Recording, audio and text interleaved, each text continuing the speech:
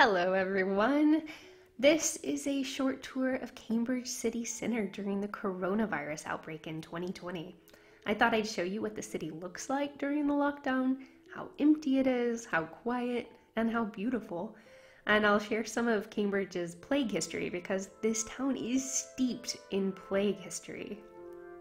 So, um, right, so to start off the tour, right now we're walking through Little St. Mary's Lane, which is a tiny medieval street between the River Cam and Trumpington Road, which many of you may know is one of the two main streets in the city. So just to show you this on a map, so this is Little St. Mary's Lane that leads from the River Cam up to Trumpington Street. And um, here it is in relation to the city. So it's just in the south corner of the core city, right? So on our walk, we will take um, a left onto Trumpington Street and follow the road past St. Catharine's College and Corpus Christi College and up to the Corpus Clock. And that's where the street changes names to King's Parade. And we'll pass all of the closed shops in King's College and the chapel, um, right up to Great St. Mary's Church, which is the official center of the city.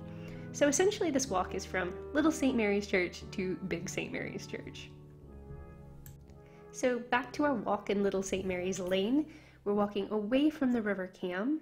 Most of these houses date from the 17th to the 19th century.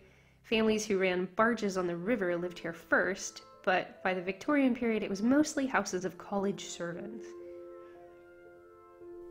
And that's the back gate to Peterhouse College, um, completely closed for the pandemic.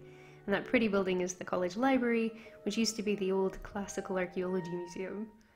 This lane used to be known as a red light district in the Victorian era. The, um, the black fronted building on the left side was called the Half Moon Inn, and it was a public house with a really bad reputation. And now it's just a, a pleasant residential passage. And you can see the gravestones of Little St. Mary's Church, really peaceful and quiet. Obviously, no one's out today during the pandemic. You know, there's been a place of worship on this site since the Anglo Saxon period, and a Fun fact, in the, uh, the 1200s, this site was owned by the Hospital of St. John the Evangelist. And when students ran away from Oxford in the 1200s, some of them lived here, but they couldn't get along with the sick people. And so the Bishop of Ely moved the students out to a site right next door, and that's the origin of Peterhouse, the oldest Cambridge college. And speaking of sick people, notice we haven't seen anybody. It's so quiet in the lockdown. Usually um, there are people on this lane, but the rules are you stay at home at all times except for essential chores, and you can leave home once a day for exercise, but only with members of your own household. And um, that's what I'm doing here, walking through the city for my once a day exercise. And we're um, we're coming up to Trumpington Street. Right ahead is Pembroke College, the third oldest college, um, it's one of the so called Cambridge Plague Colleges. It was founded right around the Black Death of 1348. And um, it, was, it was part of a, a movement to help deal with the shortages of learned men, as they were called, in the aftermath of the plague. And there's a view down Trumpington Road. There are literally pigeons hanging out in the empty streets. And we're following Pembroke College and looking down Trumpington Street now to the north, passing Emmanuel United Reformed Church to the left, and wow, if you look to your right, you'll see our first people. Um, they're out cycling for their once a day exercise. It's a really beautiful April Saturday. And normally these streets would be bustling with locals and tourists heading for the market, doing a bit of shopping and sightseeing, and it's almost spooky how quiet it is right now. And that's Cambridge University Estate Management, completely shuttered and if you're wondering, if you look down at the street right about now, those big gutters by the street are the um, historic fresh water supply to the city, made by Thomas Hobson around 1610, the same guy famous for the phrase Hobson's Choice. Um, that was part of a movement to clean up the city uh, and a sanitation public works pro- project. Just looking down Pembroke Street, also known as Downing Street, every street in medieval Cambridge has like three names because like here on the other side of the street is Mill Lane, um, same street, leads down to the River Cam and gets its name from an old mill that used to be on the river. So old it was listed in the William the Conqueror's Domesday Book. and that's Fitzbillies, a Cambridge institution, best scones in the city by far, famous for its um, sticky Chelsea buns. It's usually bursting with people, but not today. Nobody's out, everyone's being really good with lockdown. Again, the idea is you only go out once a day for exercise walking, jogging, cycling.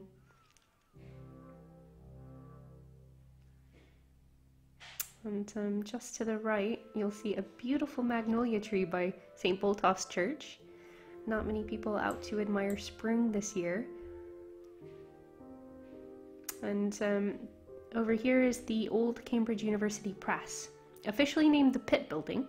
Um, it housed the press for a century, and now I think it's um, a conference center. Completely shut.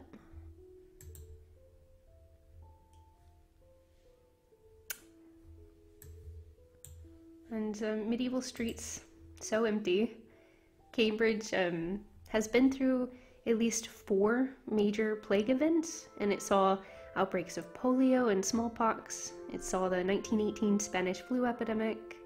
That building with the green front is um, Ede and Ravenscroft, where you can buy your academic gown. Dates to 1629. And now we're looking up Silver Street down to Queen's College. And to the right is St. Botolph's Church, which dates to the 14th century. So it pretty much saw all of these epidemics in Cambridge. And as we walk down to the left is St. Catharine's College. It's going to be the red brick one that you'll see a few times. And to the right is Corpus Christi College. The big bubonic plague that hit Cambridge was in 1348 and 49, and that was the one that killed off about a third of the city's population. At that time, there were two Cambridge religious guilds, Corpus Christi and the Blessed Virgin Mary, and they existed just to hire priests to pray for their members. So essentially, if you paid and joined that guild, you got someone to pray for your soul forever. That was the idea anyway. But they lost a lot of priests to the plague. So after that plague decimated Cambridge, the two guilds united to found a Corpus Christi College right here on the right, so that um, they could you know, train more young clerks to help replace all of the clergy who died of the plague. So Corpus Christi is one of the big plague colleges. In many ways, Cambridge is a city that's been really shaped by these epidemics. Medieval Cambridge was just a health nightmare. Most of these roads were unpaved, and people just threw refuse into the streets, let it accumulate.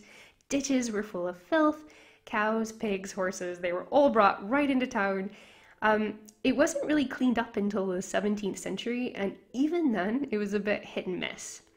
One of my favorite things is in these plague years, Cambridge had people called searchers, and they were sent through the town to investigate cases of suspected plague, you know, living or dead cases. Um, and these searchers were usually old women who had recovered from the plague themselves and had some kind of immunity. And they carried these long white wands um, kind of like a badge of office, and they would report their findings to the parish clerks. So if the searcher said, Yep, yep, that's a case of plague, um, the house would be isolated, or the sick people inside might be removed to pest houses that were set up on Midsummer Commons. It was kind of like medieval isolation wards.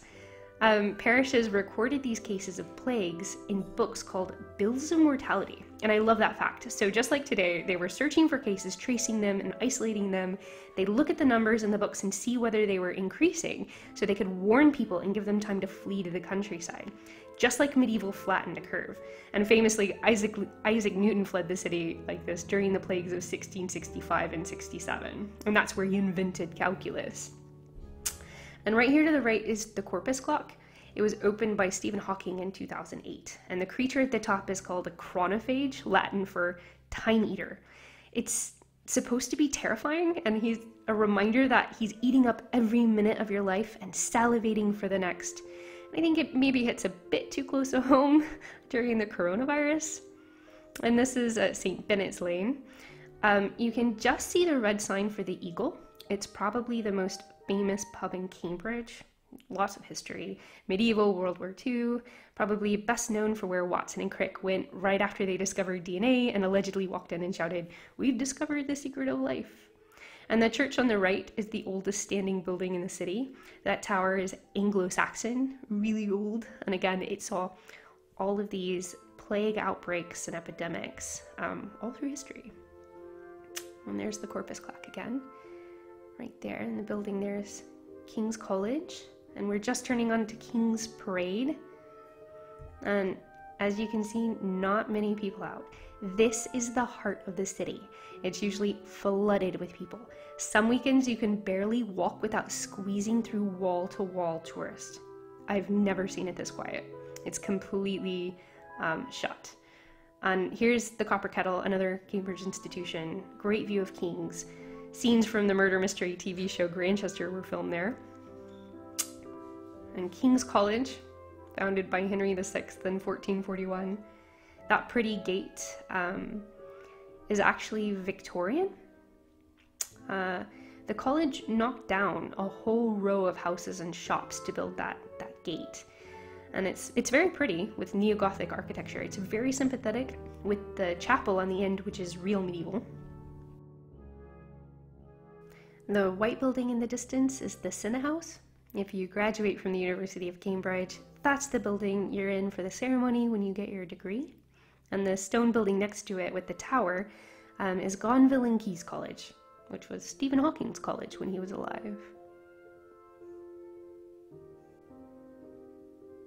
And just here to the left is King's College Chapel again, in the sunshine, no one out to see it. And uh, this is St. Edward's Passage. There's a, a church in there that was the hotbed of the Protestant Reformation in Cambridge, actually. And there goes two police officers, making sure everyone's paying attention to the social distancing rules.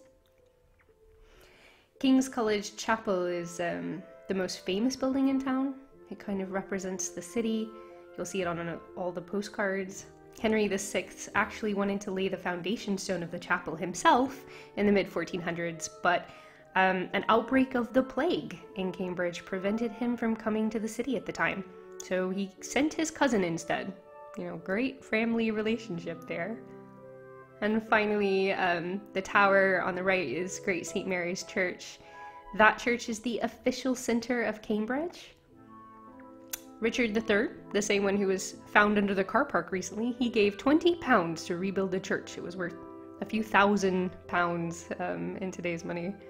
His uh, cousin Henry killed him and then donated more money uh, to the church for an ornate roof uh, that you can still see today. And in 1616, King James of the famous King James Bible was afraid of the Puritan um, feelings rising up in Cambridge, so he ordered all students to attend sermons at the Great St. Mary's Church twice a day, unless there was a plague. So, another touch of plague in Cambridge history. So there we go. That's our short walk through Cambridge during the coronavirus epidemic. All kinds of pandemic history wrapped up in the city, and it's so fascinating. Right now, we're living through another part of that story.